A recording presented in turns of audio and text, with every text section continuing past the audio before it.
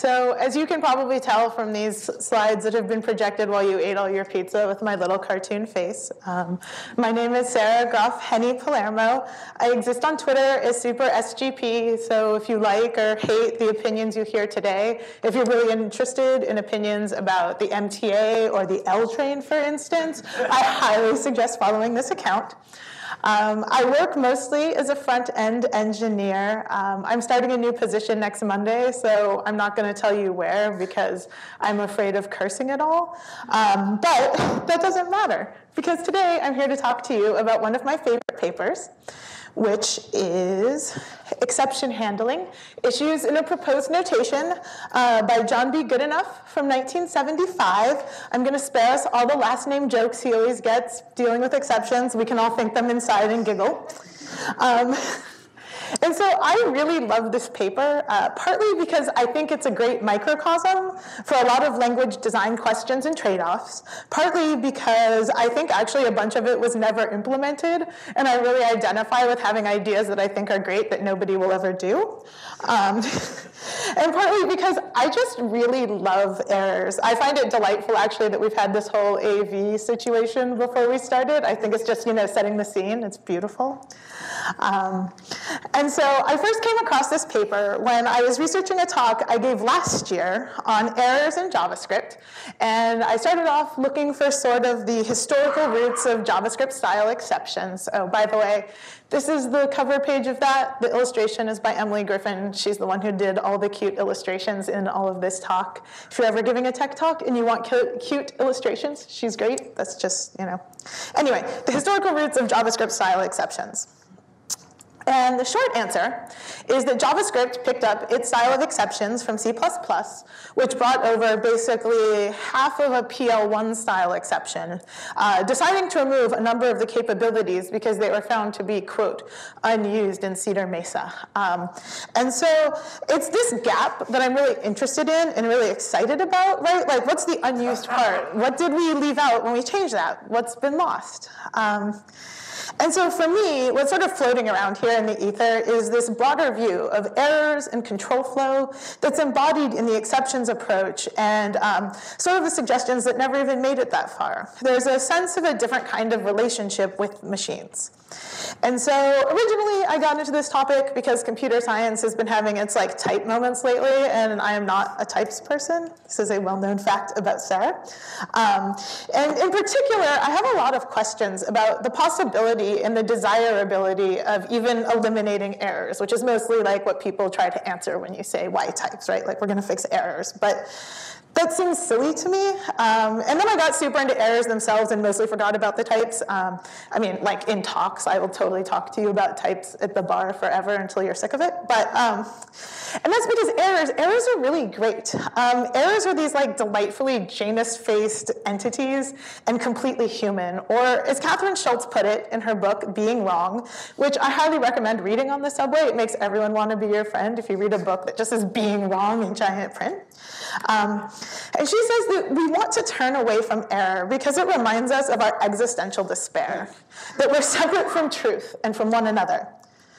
But it's also the only true way to engage and create and to imagine is risk error. Everything that makes humans and computers capable of doing great things are the things that make us capable of totally fucking it up. And like, that's great.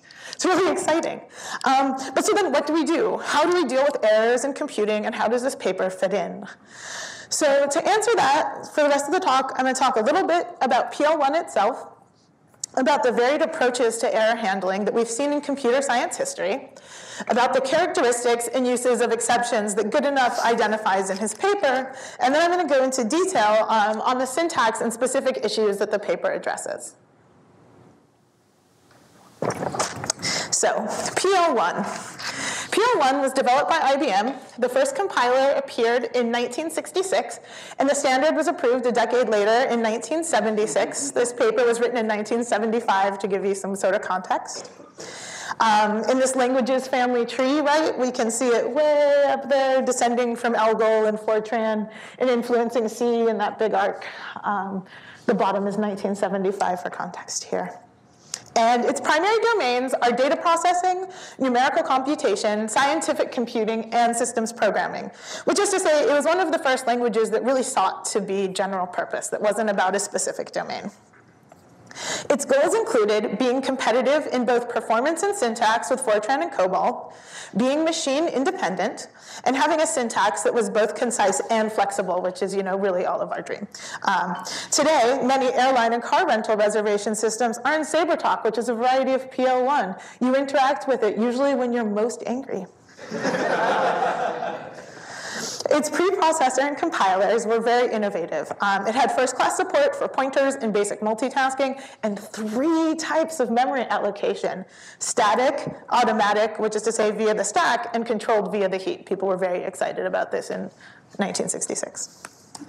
It also added two excellent error handling techniques to what was at the time a pretty sparse landscape, um, entering the debugger and throwing an exception. And I say added here because similar ideas arose in multiple places. There's a very strong argument that Lisp originated exceptions. Um, PL/I was the first really go-to focus language that brought them up, and I feel like saying they added them is like a nice fudge there. These days, of course, we have a number of different ways to deal with errors. And um, I'm going to start off talking a little bit, taking us for a brief trip through errors in history. Socrates loved errors, Abe Lincoln loved errors. I don't know who the lady is. Let's say Betsy Ross. Betsy Ross loved errors. there are actually supposed to be 14 stripes on the flag. Nobody knew. Um, and so if we arrange ger- general error handling methods from the dramatic to the subtle, um, we can start with the most dramatic, just crashing, right? And this is the original classic, direct from Fortran. Um, and it makes sense, right? When a computer is a glorified calculator, why would you keep going if you know there's an error and the calculations are going to be wrong? Um, especially if the most knowledgeable operator is sitting right there in front of the machine. In modern times, though, this can be anywhere from moderately to very inconvenient. For instance, you thought I said I talked about the subway a lot, I'm insufferable, but throughout the last year, there have been bugs at a computerized switch at Bergen Street, which means the MTA has to keep going and rebooting that switch, which takes forever, and is pretty much behind most of the meltdowns you see when you see that there's a switch problem at the Bergen FG, because in that solid state switch, they decided just crashing was the best way to deal with that error. Um, so the next and slightly less dramatic option is to enter the debugger, which you might be familiar with if you've written a lot of Rails. It also happens in other languages. That's where I'm most familiar with it. Um, things break, you can access the REPL, check out what's going on. The switch engineers might have even been happier for that option, right? Even less dramatic, but just as old school, is returning a special value. And this approach is pretty deprecated in modern languages. Um, except in utility functions that are based on older standard libraries, and of course, Go. Um, it saves programs from the totally destructive interruptions of crashing, but it does, you know, mostly break things and suffer from the semi-predicate problem, which is to say that you have to check for it explicitly. On the other hand, this is where we start to admit that, there, that some form of recovery is possible a little ray of hope. Um, and rather, its predecessor was where people first started admitting that, which is to say, setting an error flag, um, which is one of the first solutions to be implemented after just crashing. And here's an example of that in BASIC, right, where we're calling a function, and then we're seeing if there's an error code, and if it's, you know, not zero, then we deal with it. And we keep calling another function, going through. Um, and you can sort of, it doesn't take a lot of imagination, right, to look at this approach and see how it might start turning into returning the error code directly, right, rather than setting some flags somewhere. Um, and I think that there's an interesting tension between the kinds of recovery each of these approaches supposes. Um, right, this example presumes the recovery is the same regardless of where the error code emerges, that like all sort of errors should be dealt with the same, versus returning the code closes over the recovery, allowing for sort of a more specific recovery. And then the third and most recent variation on this sort of error communication is to send a signal using the DOMs on error event emitter or say Erlang's exit signals. And I list this as being less dramatic than setting an error flag, but more dramatic than returning a special error value, because it's harder to ignore than the value just being set somewhere over there, um, but easier to ignore than it being dumped in your lap on return where you're looking for your data. Um, but it does maintain the possibility for specific responses, which I really like about it. Finally, there's the least dramatic option to recover and keep going. And sometimes this seems ridiculous to people, right? Like, why hide errors? You're going to hide them, and bad things will happen, and it'll be so terrible to debug, and don't do that, everyone says. Um, but context and the possibilities for recovery really matter. Um, when HTML still renders a mostly broken page by guessing where to stick your closing paragraph tag, probably fine. um, and there's some cases, some scientific cases, where it's the most practical. So I learned when doing all of this research um, that the default IEEE 754 floating point exception handling behavior is to resume computation following the substitute of a default value if there's an arithmetic error. And this would have prevented uh, the Ariane 5 explosion, which was in part caused by the fact that Ada just aborts computation on arithmetic error and then, you know, blew up a whole rocket. Like sometimes recovering is actually a great plan. Um, and there's a number of forms that that recovery can take, right? You can revert to a default or you can guess the way HTML does. Um, you can use optional or maybe types, which is a way of enforcing dealing with recovery in some parameter. If you're asking for a nullable thing, you better have a plan if it doesn't come through. Um, or you could do something like algebraic effects, which I would say is a broader application of that monadic approach, which has shown up lately in research languages like Eff, right? Where we're wrapping functions with handlers that can take care of state and exceptions and other impure results. Um, the really important part of this code is the fact that the effect takes an argument k, which is essentially the continuation. Um, it is the state where the function has been called, and you can sort of grab it after you've done whatever things you need to do. And so that leaves us in our list of ways to deal with errors with throwing an exception, the topic of tonight's paper. Um, and it enters just this side of the recovery is possible line, as depending on how it's implemented, it can provide for recovery, but it demands attention either way. Or, as Goodenough put it, of the conditions detected while attempting to perform some operation, exception conditions are inherently those that are brought to the attention of the operations invoker and that the invoker is either permitted or required to respond to. Um, from this, he expands into the salient characteristics of exceptions themselves. Um, I think this is the most important one. Their full significance can only be known outside the operation where the problem is detected. If a function can't read a file, the meaning of being incapable of reading that file is only really comprehensible outside the scope of the function whose goal is to read the file.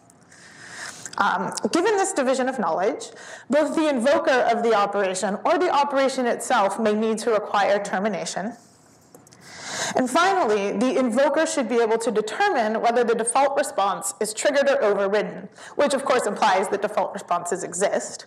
And these responses, of course, as we just talked about, don't have to be to crash, right? We're looking to lessen the burden on programmers by not requiring handlers to be defined up and down the call stack, but only on divergence or when it's really important.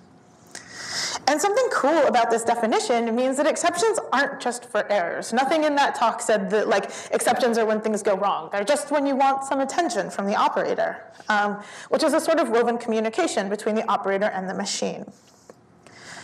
So they can be used to deal with failure, as we've discussed, but also to add information about a result or to facilitate monitoring. And it's from these three capabilities that Goodenough derives the needs of exceptions. So let's talk a little bit about them some more. Dealing with failure.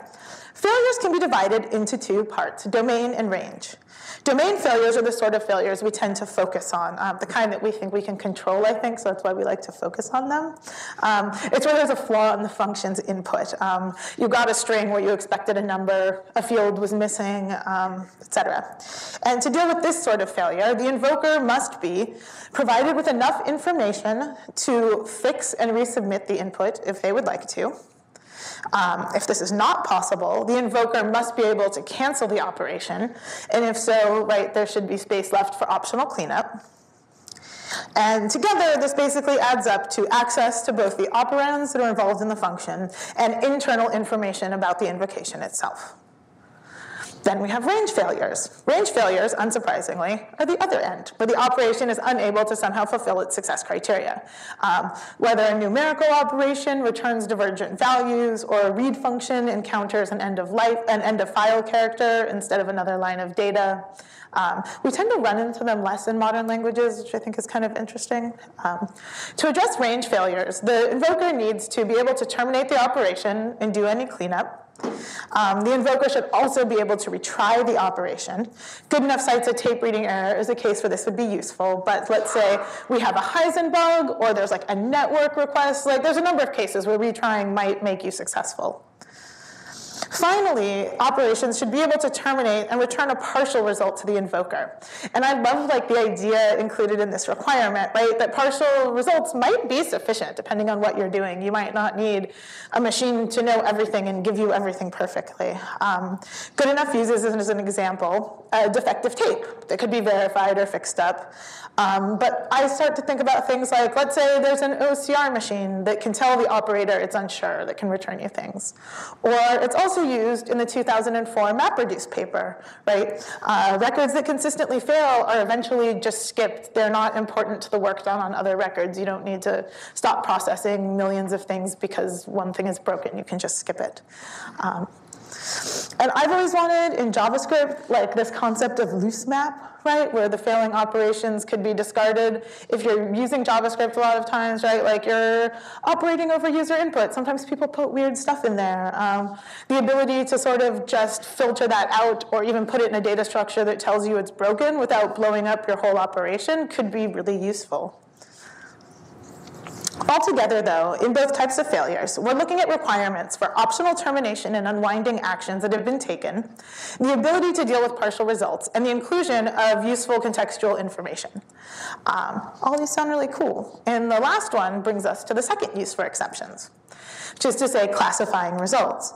Um, if an operation is successful, you might still want the information that you would want on a partial failure. Um, you might want to classify your results. You might want to know, you know, how the information was provided. Did you give a range of computations and one of them worked? Um, were there other successful matches? Is it a default, right? There's a whole bunch of information you might want to know, and Goodenough suggests exceptions might be useful for this. If we blow this up even bigger, it can be expanded into the third use for exceptions, which is to monitor operations. Um, in this case, an exception could be triggered on every call or every 10th call or whatever rhythmic variation of a function that you want. Um, most importantly called without unwinding the call stack or otherwise sort of interfering with the work that the machine is doing, right? Especially it's 1975. Computers only have so much power. Being able to get some value inside a whole bunch of work is really useful. And today, we might think of this, um, if we think about JavaScript, as passing a callback to a search algorithm that you're calling on every node. Um, but for Goodenough, instead of having a callback or something else, this is just another use case for the mighty exception. Um, and this requires that the invoker be able, in some cases, to decide whether to terminate or continue, but also includes the possibility that the invoker might be, in fact, required to resume, that the operation can override its invoker in order to enforce the economy of keeping things in media res. And so altogether, we get an idea of an exception that's not necessarily concerned with error, but facilitates a multi-level interaction with our programs. We want to be able to provide information so fixes can be undertaken, to allow termination, to require termination, to require resumption, to provide access to the operands and contextual information, to allow for retry, and to allow for partial results. Um, and from here, the rest of the paper is sort of devoted to how to get these things, um, arranged in these four topics. So the association of handlers with invocations, control flow issues, default exception handling, and hierarchies of operations and their exceptions. The version of exception handling that existed in PL/I when Goodenough began this paper, the version he's sort of responding to here, is centered around on conditions. Um, and the on condition here, the way it works, right, is that it's raised on a specific case on the end file, and you can go to something else. You go to the process. Um, the system was incredibly resource intensive and could therefore be disabled. So you could deal with errors, but you could also literally just be like, I don't care, keep going, light on fire and blow up, it's fine. Um, because it was so resource intensive. Um, later on statements could override previous statements, and different categories sort of required or forbade continuation, but you just had to know which one was which. Um, and Goodenough's goal was to propose a new notation that would keep the flexibility of that setup as much as possible, while also helping programmers to avoid the three major problems of forgetting that an operation can raise a particular type of exception, associating the handler with the wrong activation point, or associating the handler with the wrong exception.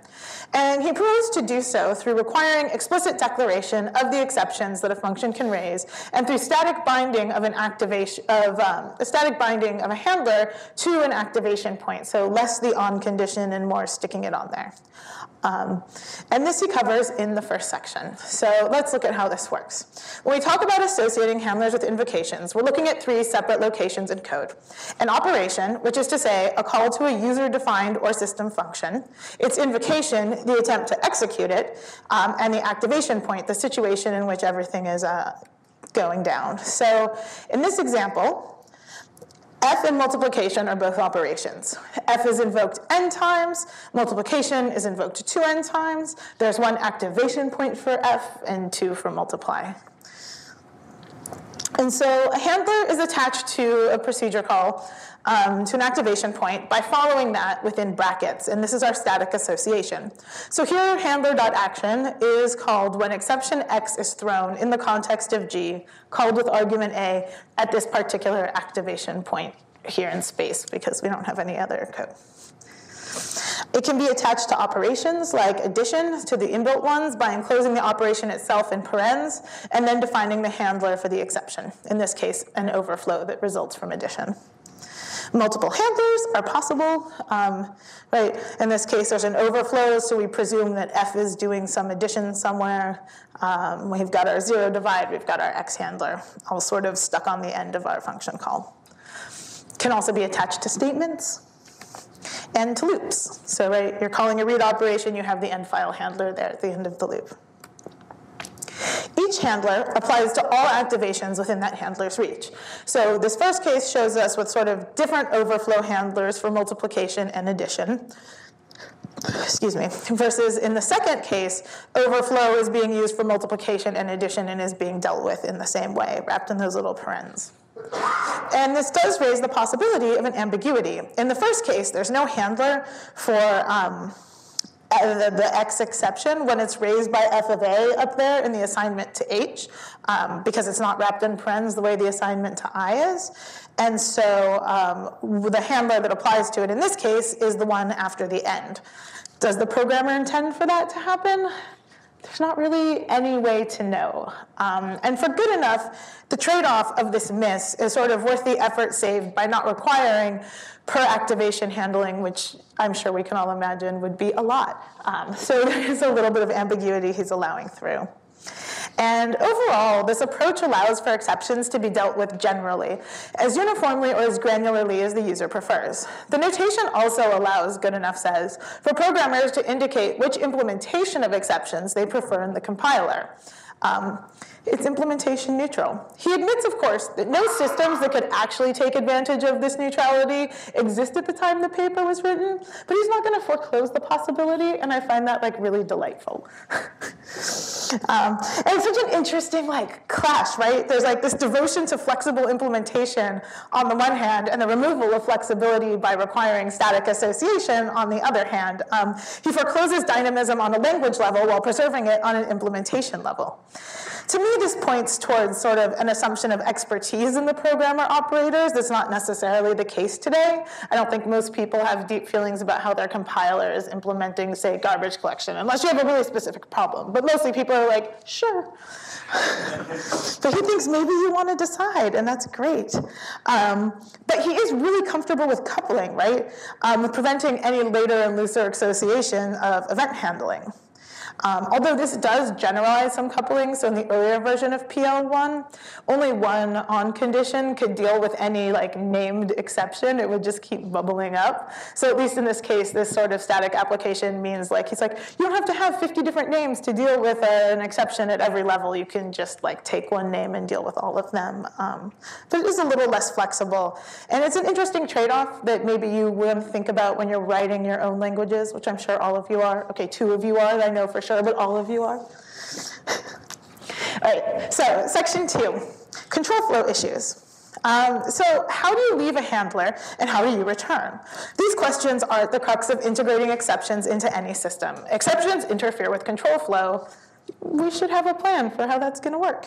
Um, good enough suggests that we should, we should continue to make it difficult for programmers to err by looking for explicit declarations of the type of exception, and that's uh, escape notifier signal, and it has to do with how we deal with these exceptions. He wants to support good developer experience. In his case, that means go-to free programming uh, by allowing multi-level exits.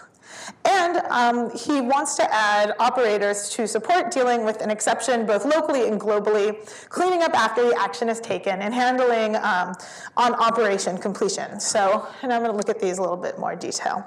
Escape type exceptions require termination and they support the go-to free programming by exiting multiple levels at once. They work a lot like return does, probably in languages you're familiar with. Signal type exceptions allow either termination or resumption at operator discretion. They're sort of just like, yeah, do whatever you want, man. They're the cool dad. Um, and notify requires resumption. Multiple types of exception can be returned by a procedure, right? F can give us an X, which is an escape type, and Y, which is a signal type. Exceptions can also be raised within handlers in a magical Ouroboros. Uh, here, F is able to raise X, which is handled by G. G can raise Y. If Y fails, everything is going to be exited with exception Z. Um, and in this case, an enclosing function would have to deal with exception Z, or it would be a compiler error. Escape can exit several levels at once. It would go all the way out to this second end. Um, and it can be treated locally and then forwarded to the wider context.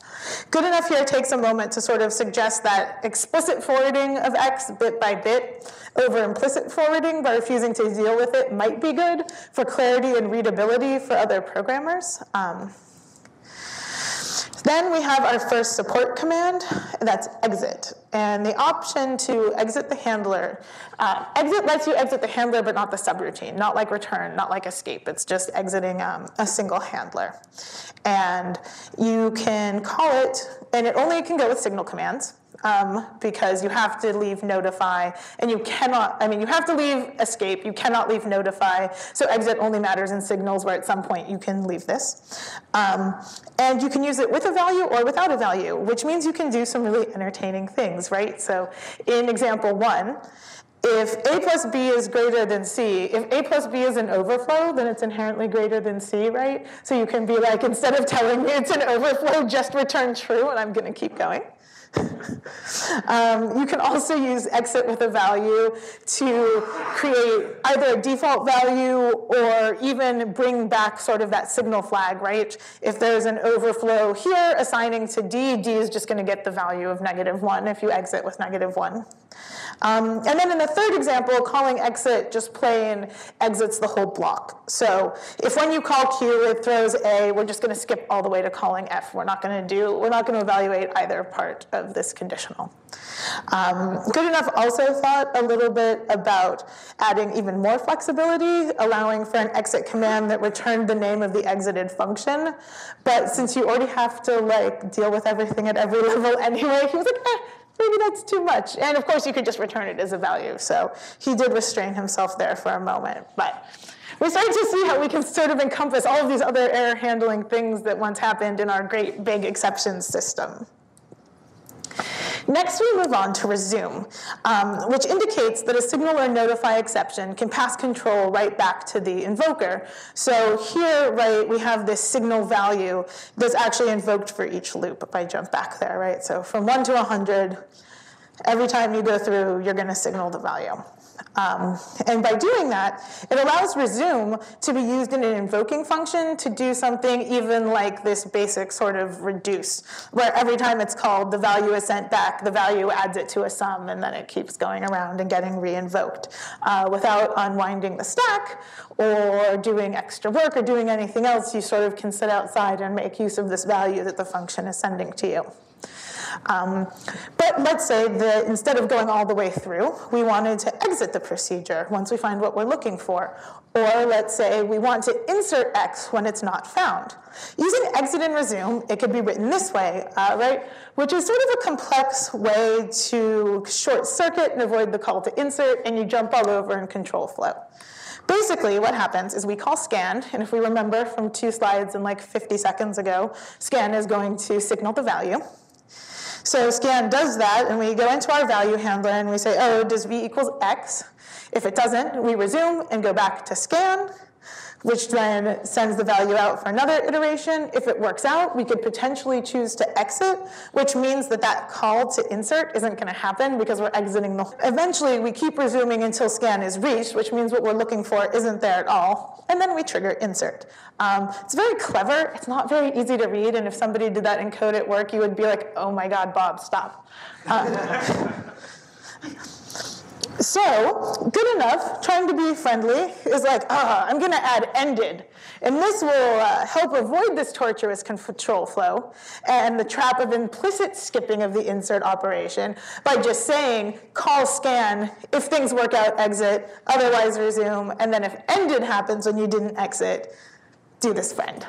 Um, and I find this code really interesting, right? This sort of short call, and then there's some named branches after it telling you what to do with the value that's going on inside the function. Um, and I started to wonder about how I would write it in languages I like, or even worse, or better, this way more complex example, right? Where in this case, it's using escape on found to operate and say, go, okay, I'm going to set this. If found never happens, it's using ended. This is an example about finding things in an array and either and tracking how often you look for it and setting you to which point in the array it exists. Um, but if you consider for a moment how you would write this in your in the language you use every day, would you be like really like imperative and just use a for loop and a whole bunch of you know variables in the enclosing scope to do it. Would you want to do something like use find and a ternary and get really clever about how you're assigning things? Um, I think it's a really interesting question because it's so familiar and yet so strange. And I wonder, you know, is this a case of straining a system to enable functionality that we just take for granted? Like, I write this differently, it was 1975, he's like pointing towards something bigger. Um, is it actually clearer? Would you sort of enjoy being like, if this is what happened in my functions, please call this this way? Um, I'm not totally sure, but it's something I really love about this paper, that it's like a tiny piece and a really long conversation. Um, and the questions I take for it could take you, you know, deeper into the history of PL/I. You could start looking more into signal-based programming. Uh, we could talk about the consistent needs we have from all programming languages as sort of a baseline, just from this like very uncanny example. Um, but to return to the microcosm itself, I've got one more support command, and that is cleanup. The cleanup command can only be attached to a signal exception, and it can only be invoked implicitly, um, which you want to remember for one second. Cleanup handlers are invoked from the inside out. So in this case, we see that H is a subroutine that might raise a signal exception. If it does so at this activation point, the handler will also raise a signal. And this signal will forward to this last one. Each of these have cleanups attached to them, and the cleanup actions will be triggered from the least to most recent called or inside to outside so that the unshown cleanup within H will run, then pass control to the handler attached to the second, and then to the one attached to G. Excuse me.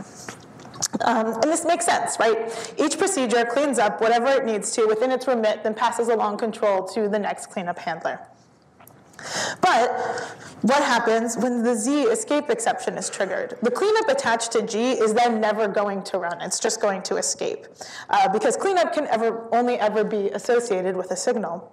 Likewise, a cleanup action is restricted in what it may contain. It can't raise exceptions that would cause a short circuit um, because this would also short circuit the cleanup chain. And altogether, I would say this is a little bit of a mess.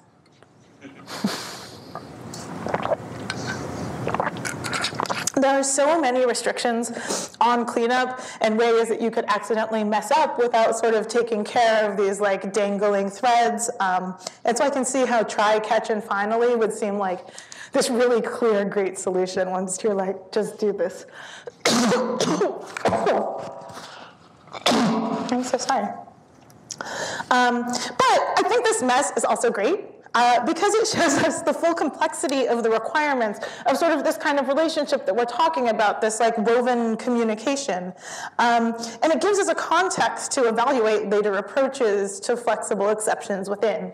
For me, it really points to like the value of event-driven programming, even if it undermines the guarantees of static typing and safety, right? But of course, I would say that. Other people might pick a different sort of version. Um, but so far, these are all topics related to user-defined exceptions, but there's another part to all of this, which are default exceptions. And default exceptions are implicit exceptions that are executed unless overridden by more explicit handlers. So, um, you know, originally these were handled with on conditions by using the system keyword. Um, that's how you get the default. You're like, on this condition, do whatever the system says.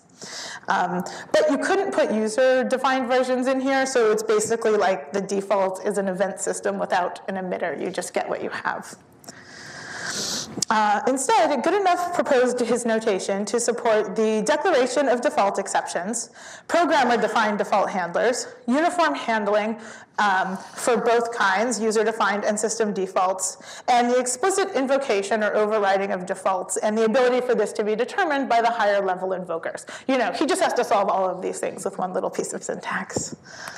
Um, and in his case, he decides to solve that with this one little piece of syntax, the optional keyword. Um, optional indicates a handler is required for X but not for Z. Escape Goodenough cannot by their nature have a default handler. And I assume that this is because by definition they have to exit, but I would imagine you might want some default handler to an escape that does something and then exits, but you would have to catch it and do that thing. Um, the program also will not search for defaults across submodule boundaries, but luckily they can be explicitly invoked. Totally forgetting about cleanup, which he thought up like 10 seconds ago. Goodenough says it's always dangerous to provide only implicit ways of invoking some capability. So in terms of defaults, this is accomplished by adding the default parameter to the resume command. You can resume default. Um, and this is sort of the equivalent of an escape. Uh, it's like, yeah, go ahead, do whatever the default is. But it passes control back down into the um, inside function as opposed to up into the enclosing scope, which is what escape would do. Altogether then, a signal exception could sort of have this whole huge signature, right? It could have a default, and then it could use ended, which is invoked if default is overridden. So if you're really determined something happened inside your procedure, you can be like, no, this all the time. Um, and you can clean up, you know, just for fun. And then these can all be combined within a single procedure to allow for different handling at different activation sites, right? And I sort of love this. Um, you can override the default handler and then just terminate the call to a procedure. Although, as we've just discussed, the default handler could have ended in there to like get you back. Uh, you can just call the default handler implicitly or handier I was doing good typing then. Um, you can invoke the default handler explicitly. You can override it and not perform assignment in this case. You can overflow, and if there's some default assignment, that's what's going to be assigned to A, and likewise, you can do it explicitly. Um, at each different activation site, you can choose a different way to deal with default. And this becomes really interesting when you start looking at packages. Um, you can sort of allow each package to deal with its own default handling or to override this passing flow up and down. Um, there's a whole more detailed explanation of this in the paper that you can read. The thing about it that I think is really interesting is sort of how exception forward this code continues to be. The call to print is like all the way over here at the left. It's like the tiniest piece of the whole code.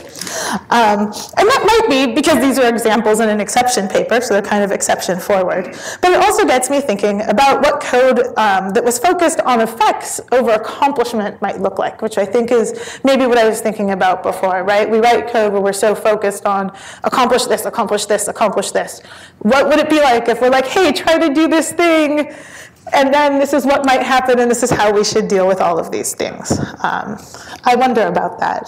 Uh, and Altogether, though, he's looking to encompass default and override handlers and allow higher level or lower level functions to win.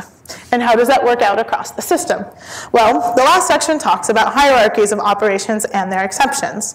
Goodenough points out that the notation so far can lead to cumbersome code where some functions are subroutines basically just have to pass along exceptions from functions they themselves invoke. Here, B serves to only pass on exceptions from C to A when it's invoked by A. B has nothing to do with what's going on. It's just like, hey, stuff might be broken. You might want to fix it. Um, and so Goodenough decides to add in the pass keyword, uh, which when used with other PL/I syntax can look really clear like this. In the case of X, Y, and Z, you might take you might take some sort of action, call pass, do whatever cleanup you need to do, and send it back up into the caller. Um, and this provides the ability to treat groups um, identically, to lay different pieces out. Um, and then, but unfortunately, when new exceptions are added, you still have to go back in and at least put pass on every piece of that code. And Goodenough once more argues that this is probably worthwhile because the biggest drawback, the difficulty of triggering top-level reactions, can sort of be mitigated with an explicit top-level command. Every problem he finds, it's like, oh, we'll just write a new command and then everything will be fine. Uh, it can expand into bigger commands It's kind of like macros. Um, and sort of this is where the paper ends, right? Uh, with an incomplete notation, Goodenough at, uh, notes, right? He hasn't dealt with passing parameters, uh, but with a problem and a series of solutions to that problem. A very solid notation, and of the most interest to me, a set of interesting trade-offs between, you know, the event-driven and the static analysis, between per activation calls and an ambiguous reach, between hierarchical complexity and flexible control flow, verbosity and granularity, convenience and explicitness. Um, and these are questions we like find ourselves asking today around explicitness and analysis and burdens. Um, the whole system also sort of tiptoes around that quagmire where a desire for flexibility and specificity within a system system can lead to like so many rules and requirements that you find yourself like entirely bound up within that hydra again um, when you're trying to make everything easy and fun. Um, the trade-off between explicitness and convenience, particularly in terms of dealing with exceptions, right, um, is a big problem that happened in, say, Java around checked exceptions. Some people really hate it. They just put throw on everything because they're like, oh my God, why do I have to tell you all of this information? But it was for a good use, right? You want to know what exceptions something's going to call so that you can deal with them. Um, and we can find other bits of these requirements and approaches with way more sort of felicitous uh, implementations out in the world. For instance, with this conditionals, which predate uh, this paper, um, right, there's like another way that's very similar. We have named exceptions and ways to deal with them to pass along default arguments, et cetera. There's a very good talk by Chris Houser that if you're at all interested in this, I recommend watching. Um, and we find it also in things like acceptance testing, right? So in this pattern, an acceptance test is defined, preferred and alternate methods of generating a successful result are provided, and at the end, if none of them work, then you can throw an error. Implicit cleanup happens between each try, and since ensure can refer to variables both before and after alternates are run, it can work for pre and post conditions or domain and range errors. This is another sort of inversion of the kind of work that Goodenough was doing with his exceptions. And then, of course, there's these friendly effects handlers, which I talked about earlier, which provide resumption capabilities. Um, themselves, I think, the least replicated aspects of Goodenough's work, and to me, the most interesting, maybe just because I haven't seen how they can all go wrong yet, because we haven't tried. So, like, maybe we should try. That's what I think. Um, you know, I would love to see what would be possible if we had solid defaults, maybe in arguments instead of in the handlers themselves, uh, combined with event-based handlers, right? We could avoid the downsides of try blocks and make it easier to add reactions when new functions come online, um, but sort of keep them encapsulated, and like this ability to intervene and resume.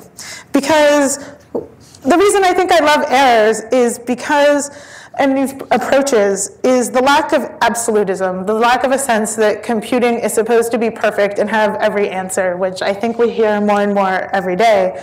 But instead, we just get this sense that we can work like with the machines. Um, because it's in the interface between the machine and the human where the potential for disaster arises, but also the potential for discovery and innovation and all of those good things, which I've said like six times now, so I'm gonna shut up, but thank you so much for listening.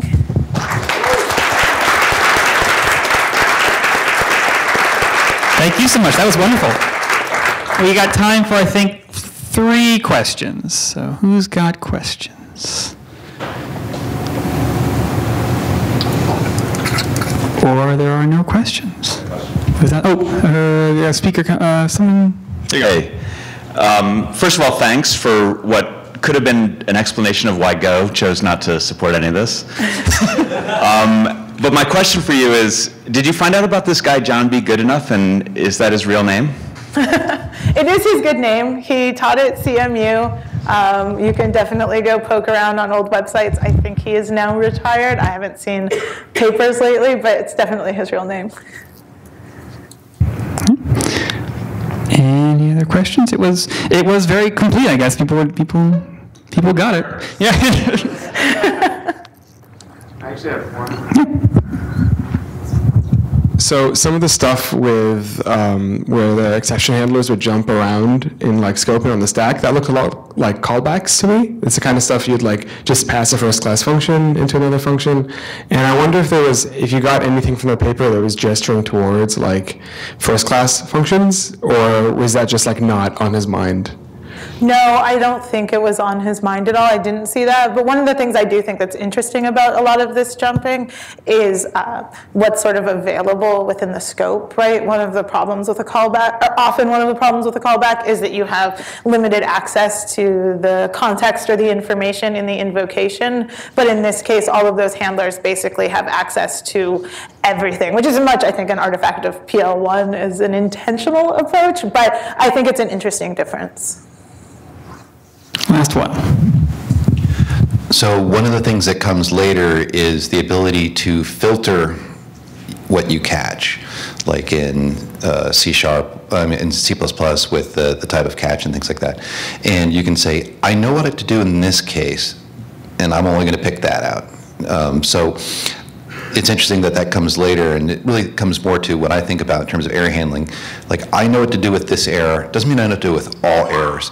And unfortunately, what happens with some of this is he says, you're going to deal with everything that happens, deal with it. And I think that's, it, it's overwhelming.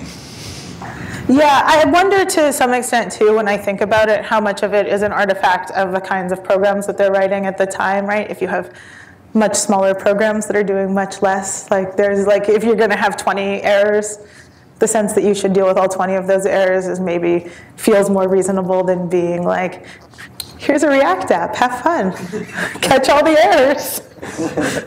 All right, we'll sneak one more in because that wasn't really a question. Do you think the types of errors they saw in the 1960s and 1970s are different from the types that you see now if you're a front end developer? In some ways, yes. I think there's a I think there's a whole category of errors that as a front end developer you don't have to deal with as much, right? Like an overflow error. I mean, there is a max integer size that JavaScript can deal with, and if you try, I've actually been working on some of the uh, documentation about BigInt, so like there's definitely a place where you run out of those errors, but I think that they were dealing with a lot smaller errors on the one hand, and then on the other hand, I think we do deal with a lot more human-driven errors. Um, user input, especially on the front end, I think is probably where 99% of your errors are going to come from, that people are going to be perverse and do things you didn't expect, even if you expected everything. Um, and that was less of a problem, I think, when you had more control over the operators and the input you'd be looking for. All right. I think we'll call it there. Thank you so much. That was wonderful. Thank you, everyone.